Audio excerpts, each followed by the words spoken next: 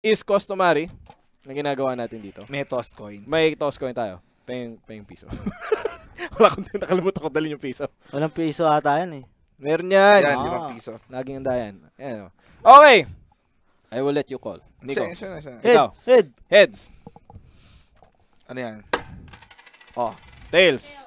alam Nico, ikaw pwede pumili. ah. Sino una? Ariel, oh. Ah, paunahin ko na siya para may pangrepat ako. Okay. Sige. So una, si Alo. And as is customary sa sa bida-bida, ang ah, opening statements, 3 minutes. okay, okay. Pagkatapos nun, rebuttal, 2 minutes. Okay. Tapos ang ah, closing ah, statements, 3 minutes. Okay, okay. sige, Okay? sige. Shoutout, Andig, Andig mga pala. Nandito sa... Pero kahit di ubusin, okay lang, di ba? Okay, Oo, kahit basta- ubusin. Mm. Pero tingin ko sa sinigang at adobo, ubusin nyo naman yan. Nandito rin si Derek Rina. Okay. By the way. Magpa magpakita naman. Diyos ko. Ah, ayaw, ayaw nyo daw Ayaw, magpakita. Okay, sige. So, Alo, ready ka na ba? Ready, ready na. Sa aking ah, kaliwa, Alo, galing sa Bulacan. Baliwag, oh. Baliwag, Bulacan. At dito sa aking kanan, si Nico, galing Cavite. Mm. Alo, 3 minutes. Yeah. Simula. Okay. Oreo versus cream O. Yung O nasaan? Sa Oreo. Nasa unahan. Ah. Yung cream O, nasa dulo. Mm. Ang Oreo kasi, mas nauna yan kaysa sa cream O. Mm. So, yung cream O na yan, nanggagaya lang. Nanggagaya lang. Saka may tatlong bagay ka lang na dapat alalahanin pagkakain ka ng ah, Oreo. Una-una. Eto ha, eh mga, mga sir, kita-kita nyo. Eh, bingo, bingo to eh. Wala akong pambili.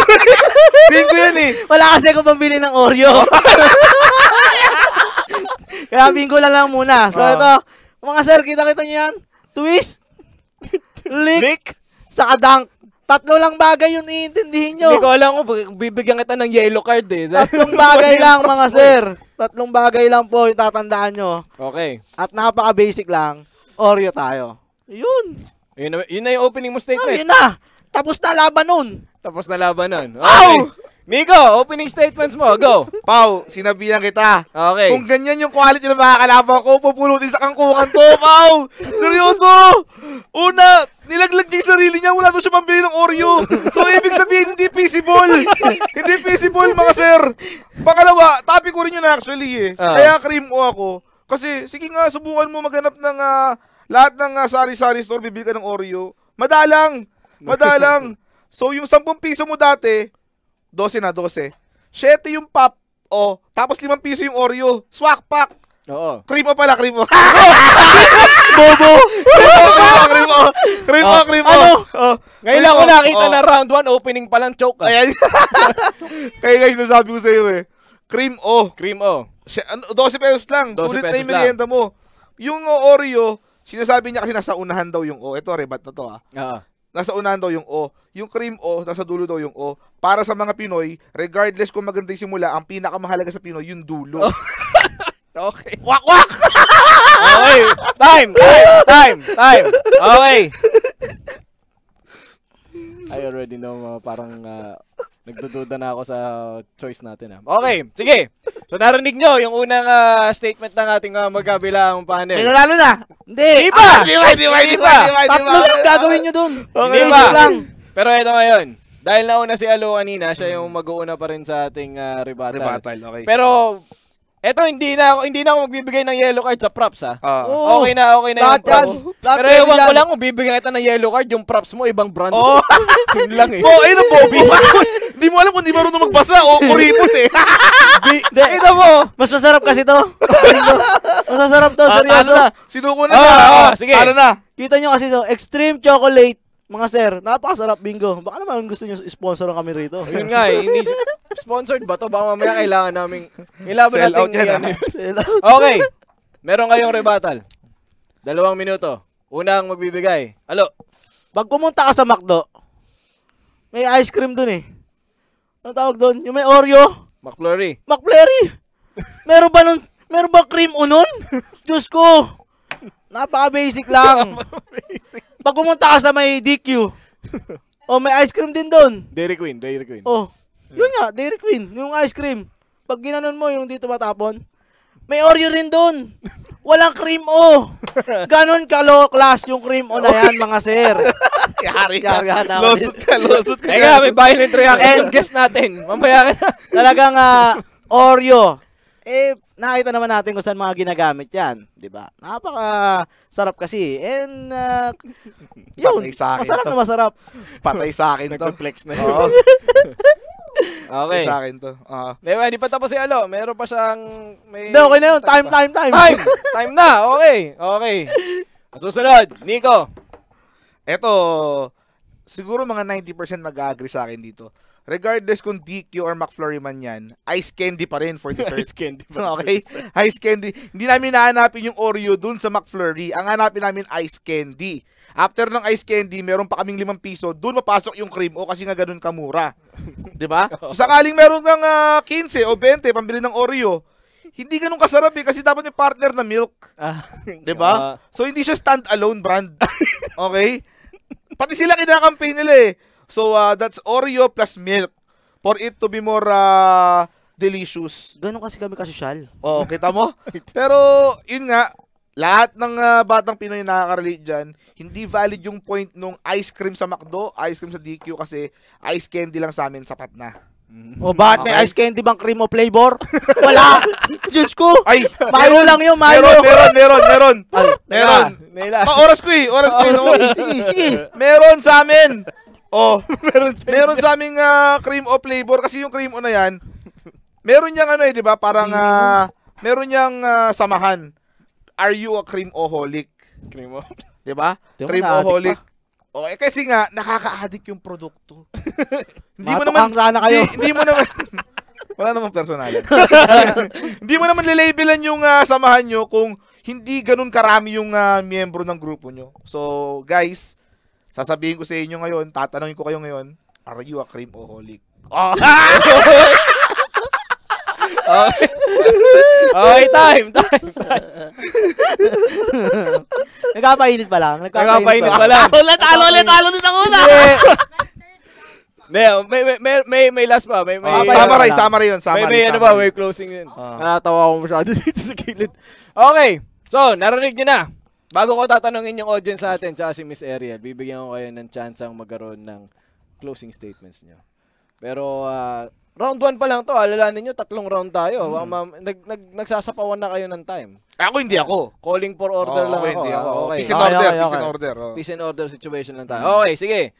Ngayon, Nico, ikaw naman bibigyan ko ng unang closing Mm, statement. summary lang, Uh, unang closing statement, Nico, meron kang dalawang minuto. Go. walang tatalo sa first love mo. Ang first love ng mga Pinoy, Saan cream galing o. yun? Ayun. Ang first love ng mga Pinoy, cream o. Kasi, aminin nyo man sa hindi, nung bata kayo, di natin makita yung Oreo sa mga sari-sari store. Kung makita man natin, hindi natin afford. And kung mabili mo man yung ah, Oreo na yon, kailangan mo as market as uh, advertise ng milk for it to be ah, to complement the the Oreo. Okay? So, meron pa tayo mapakita dito Uy. bago tayo magtapos. Uy. Okay? May bago tayo mapakita. Uy. Oh, mal- malapit sa Oh, kita mo? Cream oholic. Oh, kilala mo Uy, yan. kilala ko yan. Kilala mo yun, kilala mo. Oh, kita mo? Ang number one boy backup esports host, esports MC ng Pinas. Oh, payat pa siya niyan. Oh, shoutouts kay Eri Niman. Si Jude. Pati si Eri Niman, cream oholic. Oh, ay ikaw. Sino ang uh, nag-endorse sa ano mo, sa Oreo mo ha? Hindi ka prepare. Meron ako dyan. Hindi ka Oy, prepare. Lars, Oy. hanapan mo na ako. Wala! Wala! Kulang sa prep! Meron yan, Oh. yung magtatay, yung magtatay. Hindi ka prepared. Kasalanan ko ba yun? Oh, kita mo? Hindi ko alam na pwede mo na may mga ganun. Yun lang mga sir. Alam nyo na kung sino yun lamang. Cream oholic tayo. Di, di man mahal. Hindi naman ganun kasosyal. Pero on par with regards to taste and quality doon sa pinaglalaban nyo. Okay, thank you. Time! Okay. Lo! Ready ka na? Ready na. Okay, attack! Yung sinasabi niyang first love, hindi cream o yun mga sir. Kasi pag bata pa, wala pang ngipin yan eh. Lopo! Sele, ano yun? Yung kinakain ng bata? Gerber, Gerber. yun, yun yung kinakain nun. Hindi, yun yung first love natin mga sir. At sasabihin ko sa'yo, sige, sabihin na natin tumanda. Tumanda Ah. ng bagya. Hindi pa rin cream o yan mga sir. Pande ko yan. Pande ko boys. Yun ang, y- yung cream o cream o na yan, sinasabi na una. Uy, na, ang daming naunang tanga. Pero, ayun nga, nakita naman natin si Erin Iman, medyo gumagapang pa siya eh. So, nahihirapan pa siyang kunin yung ah, cream o na yun. Ah, parang ayaw pa May video- magpakuha. May video analysis. Nakita mo eh. Nakita mo, ayaw, ayaw magpakuha ng ah, cream o yun. Kung yung Oreo yung nag ano, no, commercial, ang bibigyan kagad si, o ano, si Erin Iman. Ito twist niya lang, lick, and then dunk. Oh, napaka-basic lang. Mali yung ano na yun, marketing strategy ng ano na yun. Creamoholic na yun. Nasa mali, nasa mali. So, Oreo pa rin. McDo, DQ, plus yung ah, tatlong ah, way lang para kainin yun. Okay. Sige. Boss Lars, patingin nga ng Twitch chat natin. Ako yun naman ang, ang tatanungin ko. Bago mag, mag, magbigay ng decision si ah, Ariel dito. Yun. Eto tatanong ko sa inyo. Actually, bingo talaga ako eh. Bingo. Oo nga eh. Feeling ko nga eh. Bingo. Pwede pansugal, pwede pang kain. Actually, tingin ko nga eh. Okay. Ngayon. Nagbigay na kayo ng sarili nyong mga take. Ah. Ang tatanungin ko naman ngayon yung Twitch chat natin. Kung sa tingin nyo, kung sino bang, ah, kung sino bang nagwagi? Si Team Cream o ba? 1. Or si Team Oreo? 2. So, ilagay nyo dyan. 1 or 2. 1 for Cream o 2 for Oreo. Pero kailangan natin tanongin ngayon, no? si Ariel. Ariel, kumuha ka ng mic. Bigyan mo kayo. Okay. Hello, hello, hello. Hindi ata ito naririnig eh. Okay, na, na, narinig niyan. Hindi, hindi, hindi. Hindi, ba? Okay, ito, ito, ito, ito. Ah, meron na raw to, meron na raw to. Oh. Okay. Puro Ayan, awiw. Puro na Will? Okay. Madam, So, sinong nagwagi? Kay Oreo ako eh. Oh. Uy, bakit? Oreo ako kasi. Hindi ka ba hindi ka ba na-convince kay Cream O? um, hirap mag-decide. kasi sa totoo buhay, gusto ko talaga si Cream. Oh, pero kasi yung paliwanag ni Oreo, mas goods ako sa paliwanag ni Hindi, Oreo. Cream O to! Cream O to!